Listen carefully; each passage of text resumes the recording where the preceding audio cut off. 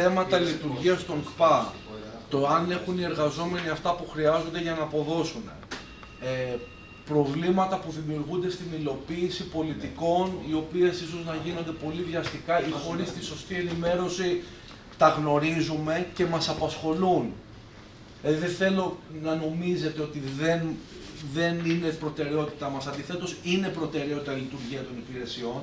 Είναι προτεραιότητά μας η εύρυθμη λειτουργία των υπηρεσιών του οργανισμού. Γνωρίζουμε τα προβλήματα των εργαζόμενων και μας απασχολούν. Αυτά τόνισε μιλώντας με τους εργαζόμενους των υπηρεσιών του ΟΑΕΔ στον πύργο ο διοικητής του οργανισμού Σπύρος Πρωτοψάλτης. Ο διοικητής ξεκίνησε την σημερινή του επίσκεψη στην ηλιακή πρωτεύουσα από τις υπηρεσίες και τις επαγγελματικές σχολές του ΟΑΕΔ, όπου ενημέρωσε αλλά και άκουσε τους υπαλλήλους για τα προβλήματα που αντιμετωπίζουν. Και ξέρουμε ότι για να κάνει ο ΑΕΔ τη δουλειά του πρέπει οι εργαζόμενοι να αισθάνονται, να έχουν αυτά που χρειάζονται καταρχήν και να αισθάνονται ότι η διοίκηση ακούει τα θέματά τους.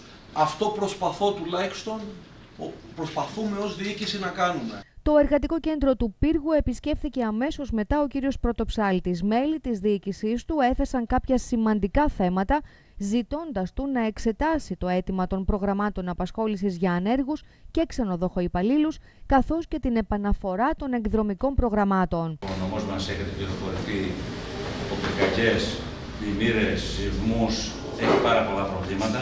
Αυτό έχει αντανάκλαση και στους εργαζόμενους και στις επιχειρήσεις που υπάρχουν στην περιοχή μας. Και αυτό θα θέλαμε να σας παρακαλέσουμε καταρχήν ε, να υπάρξουν από τη μεριά του ΑΕΔ κάποια προγράμματα απασχόλησης, όχι προγράμματα ανεργίας και προς αυτή την κατεύθυνση απασχόλησης, που να αφορούν και τους κλάδους που έχουν πληγεί αυτή τη στιγμή και, τους εργα... και, και τις επιχειρήσεις βέβαια και τους εργαζόμενους που, έχουν, που είναι άνεργοι λόγω των επιχειρήσεων και αντιμετωπίζουν τόσα πολλά προβλήματα. Το δεύτερο που είπατε για τους ξενοδοχειοπαλλήλους, που το σας άκουσα, τα ξενοδοχεία που είναι συνεχής λειτουργία δεν συμπεριλαμβάνονται μέσα. Εκεί, εκεί ε, την έχει αφήσει ο κ. Υπουργός ασαφής για τους ε, συνεχόμενα ξενοδοχεία που είναι όλο το χρόνο ανοιχτά. Για μένα η πιο καλή υπηρεσία που λειτουργεί άψογα γιατί υπάρχει παράγωγα και από το Σωματείο του Σαϊκού Πλακάδων που είμαι στέλεχος εκεί, ας πούμε και στην Ομοσπονδία Οικοδόμων και Εξούδη στην Αθήνα. Ε, θα ήθελα να, σας μεταφέρω τις ευχαριστίε για τους υπαλλήλους του ΟΑΕΔ με τον κύριο Καλογερόπουλο και τα άλλα παιδιά. Αλλά είναι η μόνη υπηρεσία στον πύργο, το λέω και πάλι, ας πούμε, και στο πάνω και τα κανάλια, που δουλεύει πολύ καλά. Είναι οι άνεργοι, οι οποίοι οι άνεργοι είδαμε τώρα ότι κατατάσσονται σε δύο ε, ταχύτητες ανέργων, οι, οι άνεργοι του ενός έτους και οι άνεργοι των προηγούμενων και παρελθόντων ετών. Θέλω να πω ότι υπάρχουν κάποια προγράμματα τα οποία προϋπήρχαν κάποια χρόνια πριν, ε, με τη μορφή της επανένταξης του νόμου των ατόμων με αναπηρία και των ατόμων που αποφυλακίζονται. Αυτό λοιπόν το πρόγραμμα μπορεί να χρησιμοποιηθεί σε διάφορες, στον ιδιωτικό τομέα, όπως είναι οι γιατροί, οι δικηγόροι ή τα καταστήματα, να μπορούν να προσλάβουν κόσμο μέσω αυτού του προγράμματος και να επιδοτείται ή ο μισθός τους από τον ΟΑΕΔ ή, το, ή τα ένσημα. Ε, είναι αυτό είναι ένα πάρα πολύ αποσυμφορητικό έργο από τη μεσαία και τη μικρομεσαία επιχείρηση που αυτή τη στιγμή βιώνει τις πιο δυσάρεστες μορφές της κρίσης. Ακόμα ένα θέμα που τέθηκε στον διοικητή του ΟΑΕΔ είναι οι εργατικές κατοικίες της ΕΤΙΛ. Εδώ και αρκετά χρόνια έχει παγώσει το έργο της ανέγερσης 100 κατοικιών. Ωστόσο, αυτό που ζητήθηκε είναι ο οργανισμός να συνδράμει με την χρηματοδότηση των έργων καθαρισμού του οικοπαίδου, καθώς ελοχεύει κίνδυνος πυρκαγιάς. Με την κρίση κοπήκαν όλα. Βέβαια, δεν ζητάμε τώρα, ε, ε, δηλαδή θα είναι δύσκολο τώρα να ξεκινήσει να γίνει ένα έργο που θα ήταν πάρα πολύ καλό για την υγεία να γίνει εργατικέ κατοικίε. Όμως θέλω να επισκεφτείτε αυτό πριν φύγετε για Αθήνα. Είναι τα 100 στρέμματα, είναι γύρω-γύρω είναι κατοικημένα, είναι εργατικές κατοικίες παλιές, ε, με δικά τους έξοδα καθαρίζουν εκεί. Θα ήθελα, εφόσον θα δείτε το Δήμο, ή να κόψετε ένα κονδύλι εσείς από πάνω ε, να μπουν μέσα μηχανήματα, έστω να, ε, να λάβει, έχει η νομαρχία, νομαρχία η, η, περιφέρεια έχει μηχανήματα, να μπουν να τα καθαρίσουν αυτά τα 100 στρέμματα. Γιατί από εκεί που περνάνε τσιγκάνοι, αν πετάξουν μία, ένα σπίρτο κάτι, θα φουντώσει ο τόπος.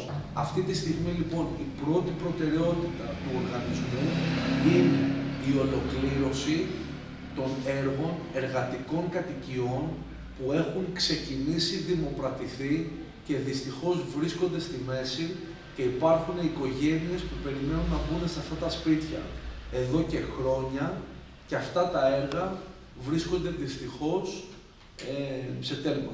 Αυτή είναι η προτεραιότητα. Ο οργανισμός έχει συγκεκριμένες δυνατότητες, μια συγκεκριμένη δυναμικότητα, δεν μπορεί να κάνει όλα τα αιτήματα που έχουν έρθει άμεσα και έχω και επίσης ως διοικητής την ευθύνη να δώσω πάντα προτεραιότητα σε κτίρια και σε κτηριακές ανάγκες που στεγάζονται μαθητές.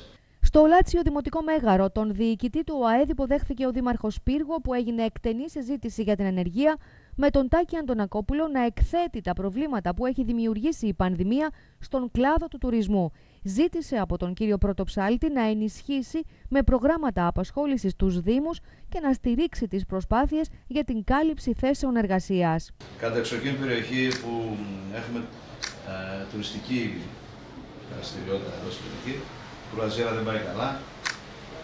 Ε, μόνο για την ε, ακύρωση του Ιουνίου, δηλαδή 110 σκάφη που έχουν ακυρωθεί μέχρι τον 1η Ιουλίου και θα ακολουθήσουν κι άλλα από φαίνεται, έχουμε 6 εκατομμύρια ευρώ απώλεια κύκλου εργασιών. Είναι ρεαλιστικά να δούμε τα προγράμματα που έχετε εσείς, πώς ενταχθούν σε παραγωγική, αποδοτική διαδικασία και να μην είναι προγράμματα έτσι μιας άλλης εποχής αντίληψης, πάρτε χρήματα και καθίστε σπίτι. Αυτό είναι τραγικό. Άρα πρέπει να στηρίξετε από μια πλευρά θέσεις εργασίας και την επιχειρηματικότητα. Κύριε Δήμαρχε, απλώς να πω ότι ο ΑΕΔ έχει πολλά εργαλεία.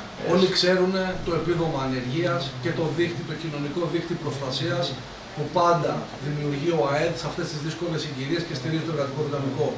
Έχει όμως και εργαλεία επιδότησης της εργασίας μέσω των προγραμμάτων απασχόλησης.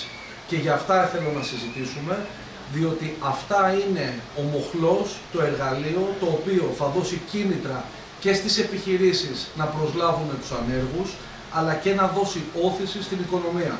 Ο ΑΕΔ είναι εδώ για να έρθει πιο κοντά στις τοπικές κοινωνίες. Θέλουμε να έχουμε πολύ πιο στενή συνεργασία με την τοπική αυτοδιοίκηση, γιατί οι ανάγκες της κάθε περιοχής είναι διαφορετικές. Και εσείς ξέρετε πολύ καλά τις ανάγκες της περιοχής σας και μαζί άμα συνεργαστούμε μπορούμε να βρούμε τρόπους για την ανάσχεση της ανεργίας και τη στήριξη της απασχόλησης. Τελευταίο σταθμός της περιοδίας του διοικητή του ΟΑΕΔ ήταν το επιμελητήριο Ηλίας, όπου εκεί τον υποδέχθηκαν ο πρόεδρός του και εκπρόσωποι παραγωγικών φορέων. Η ηλία θα πρέπει να αντιμετωπιστεί με ένα ιδιαίτερο πνεύμα από τον οργανισμό με δεδομένα το δύσκολο παρελθόν της, τις συνέπειες της πανδημίας αλλά και τα σοβαρά προβλήματα συγκράτησης του πληθυσμού. Αυτά τόνισε απευθυνόμενος στον διοικητή του ΟΑΕΔ, ο πρόεδρος του ΕΒΕ Κώστας Νικολούτσος, ζητώντας να υπάρξει ειδική μέρημνα για τη στήριξη των νέων της περιοχής με νέες μορφές απασχόλησης. Πιστεύουμε ότι η Ηλία πρέπει να αντιμετωπιστεί με κάποιο ιδιαίτερο πνεύμα, δεδομένου όπως ξέρετε εδώ έχουμε και το μεγάλο θέμα το μήνυμα μήμος απασχολουμένων εργατών γης. Έχουμε περίπου γύρω στα 8 με 10.000 άτομα. Πρέπει να δούμε πώς μπορούμε να υποκαταστήσουμε αυτές τις θέσεις εργασίας. Καθώς επίσης ξέρετε τις ε, προφανώς τις συνέπειες που έχει δημιουργήσει η υγειονομική κρίση, αλλά πέραν τούτου και η Ηλία προέρχεται από ένα δύσκολο παρελθόν. Εμείς είχαμε τις φωνικές επικαρίε του 7 και έκτοτε έχει διαταραχτεί μονίμως ο οικιστικός και ο αστικός και κοινωνικός και οικονομικός ιστός της πόλης και της περιοχής Γίγοντας της Ηλίας, με αυτό με σοβαρά προβλήματα στην απασχόληση. Πιστεύουμε ότι θα πάρει η δυνατότητα να συζητήσουμε κάποια θέματα, να δούμε και τις δυνατότητες απασχόλησης των ανέργων, γιατί εμείς εκτός των άλλων έχουμε και μεγάλο θέμα συγκράτησης του πληθυσμού μας. Σύμφωνα με μελέτη του επιμελητηρίου, ένα 17% των ε, κατοίκων της Ηλία έχουν, έχουν μεταφερθεί σε κεντρικά, σε άλλα αστικά κέντρα και μάλιστα ορισμένες περιοχές όπως οι περιοχές της Νότιας Ηλία έχουν πληγεί πολύ πιο σοβαρά από αυτή την μεταβολή και την αλλίωση των πληθυσμιακών χαρακτηριστικών. Νομίζω ότι ο τρόπος για να συγκεντρωθεί ο κόσμος είναι να βρεθούν νέοι με νέες μορφές απασχόλησης και να δοθούν ευκαιρίες και για τους νέους ανθρώπους να τα παλαιοποιήσουν τα πράγματα με κάποιο διαφορετικό τρόπο από ό,τι μέχρι τώρα.